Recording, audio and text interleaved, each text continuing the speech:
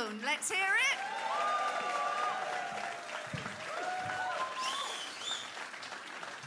Hello, everybody. All right, Manchester. So I was on Canal Street this afternoon with the other gays. Yes, doing what we do best with an afternoon off work. Just sat outside McTucky Fried Chicken judging people. But I tell you what, um, last year was a good year for the gays. I don't know whether you know, but Beauty and the Beast featured Disney's first openly gay character. Yes, I don't believe that though, do you? No, no. Ursula from The Little Mermaid was clearly a great big dyke, wasn't she? Yes, that bitch definitely liked to play flick and lick under the sea, didn't she? Dirty mare. And possibly even that snake from the Jungle Book. Do you remember with the really bad lisp? He was probably a gay too, wasn't he? And then we had the news, the very shocking and surprising news, took us all by surprise, that Barry Manilow is actually still alive. Fuck me. And my local Indian takeaway got taken over by a gay. It's called Papa Don't Preach.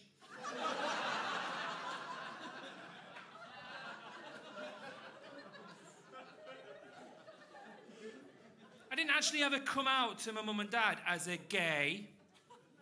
They just kind of presumed when my mum found my poppers in my school bag when I was 12 years old.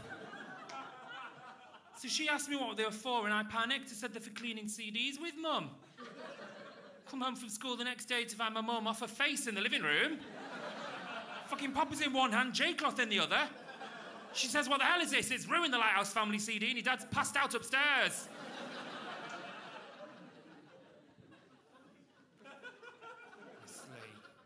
And it looks like we've got another year with Theresa May, doesn't it, everybody? I know, I know, but listen, I don't know how us as a nation can just sit back and let our country be run by a woman with nostrils that big. Have you all seen them? Have you? If you've not, let me tell you, I wouldn't want to share a gram of coke with that fucking bitch.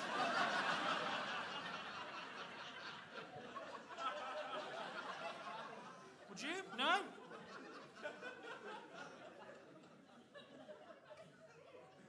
Just celebrated my anniversary. Me and my boyfriend have been together now for nine years, everybody. Thank you, thank you, but we've had the clap before. You know what it's like being a modern gay. You get invited around to a friend's house to watch Sex in the City, before you know it, everyone's lubing up and bearing down. I'm only joking. I fucking hate Sex in the City. But nine years is a long time, isn't it?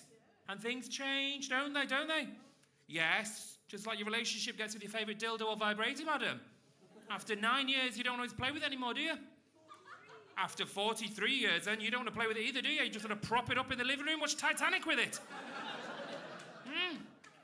Yes, and they say you have to kiss a lot of frogs, don't they, before you find your prince? What they don't tell you is most of those frogs carry syphilis.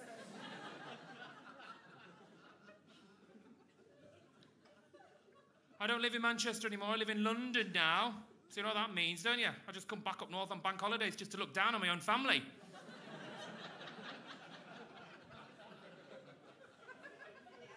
I live in a nice area of London. I don't know whether you've heard of it. I live in Chelsea. Oh, indeed. It's very fucking posh in Chelsea, everybody. Even my local ketamine dealer wears chinos and a cravat.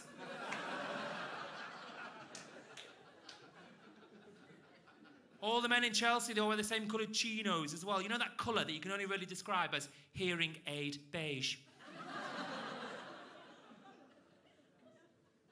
I don't want to say that I've become a snob since I moved to London, but I was on Market Street today in Primark. Saw this girl I recognised from time ago. Proper Mancunian scally she was, do you know what I mean? Covered in bling, bangles, tassels, great big hoop earrings. Looked like she just covered herself in glue and run amok in Claire's accessories. I didn't want to speak to her. I didn't want to speak to her. I'm avoiding her. I'm trying to get away from her. And then I could smell her, everybody. I could smell her because she's wearing that new fragrance by Kerry Katona. It's called Scum. Anyway, then I think of avoided, I think of escaped her. Then I see her in the corner of my eye, just as she finished detagging her shoplifting. Went, I love. I love, you all right? I've not seen you for ages. Where have you been?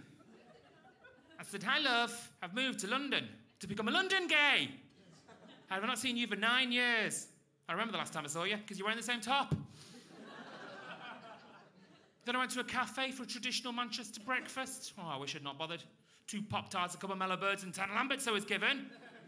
I complained. I said, Excuse me, I live in London now. Do you want to pop some avocado on top of that, please? Fuck's sake. Table next to us called the waitress over. She said, Excuse me, I'm celiac. She said, Nice to meet you, celiac. My name's Leslie. I said, Guys, I've got to go now. I've only got a short spot tonight. But before I go, me and my boyfriend have just got a dog together. Yes, he's a little gluten free shih tzu. Anyway, the vet did advise us, being a small dog, we should get his balls chopped off at an early age for health reasons. We've had it done, not for health reasons though, just to be trendy. Now we can take him to parties and tell everyone not only is he gluten free, but he's also gender neutral. Thank you very much. Good evening.